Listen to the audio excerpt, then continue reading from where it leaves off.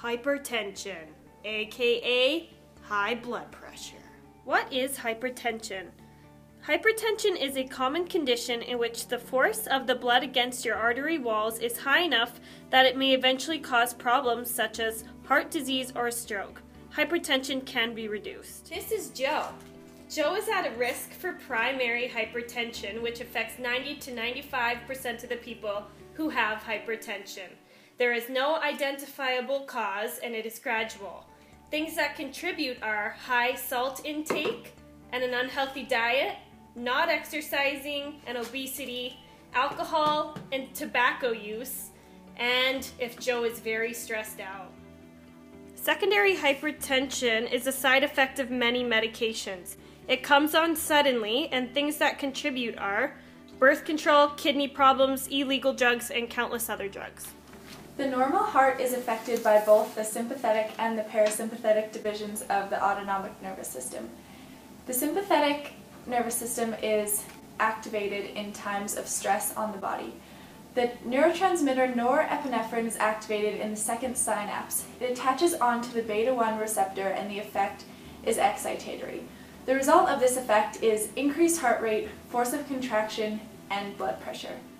A common treatment for hypertension caused by high levels of stress and overstimulation of the sympathetic division of the nervous system are beta blockers. In our diagram, the blue squares represent beta-1 receptors. As you can see, there are red dots attached to them. These represent beta blockers in drugs for treating hypertension. The green dots are representing norepinephrine in the body which cannot attach to the receptors, therefore causing the sympathetic nervous system to not be activated at this time. The blood vessels are affected only by the sympathetic division of the autonomic nervous system and not the parasympathetic. This works when norepinephrine is activated at the second synapse. It binds onto the alpha-1 receptor and the effect is excitatory.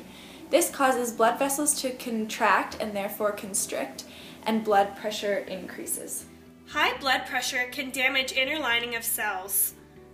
Fat from your diet enters through the bloodstream, passing through damaged cells and begins to collect. This causes changes and blocks blood flow and is the main cause of primary hypertension. Risk factors that contribute to hypertension are being 45 or older. Hi, Grandma! If you're a male. Hypertension can be genetic. Mom! Obesity. High levels of stress over a prolonged time.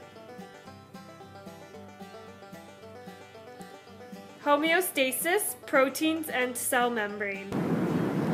Proteins play a large role in hypertension as shown by how renin and angiotensinogen work in the kidneys for salt retention. When blood pressure falls, the kidneys release the enzyme renin into the bloodstream as shown at number 1. Number 2, Renin splits angiotensinogen, a large protein that circulates in the bloodstream, into pieces.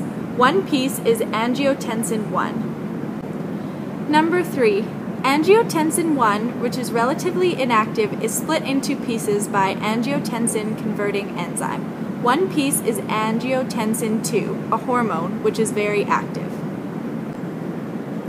4. Angiotensin II causes the muscular walls of small arteries to constrict, increasing blood pressure. Angiotensin II also triggers the release of the hormone aldosterone from the adrenal glands and antidiuretic hormone from the pituitary gland.